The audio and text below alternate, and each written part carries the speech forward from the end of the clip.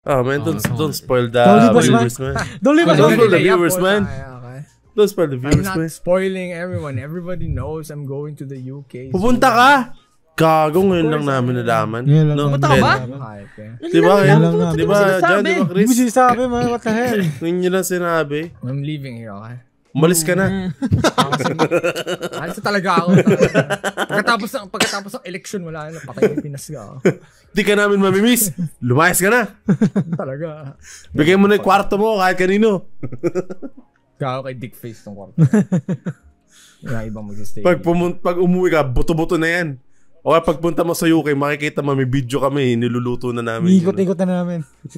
nice.